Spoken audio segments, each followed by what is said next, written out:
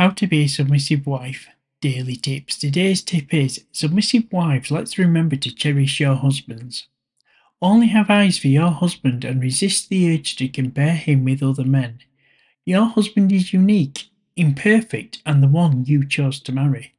Embrace who he is and honour your commitment.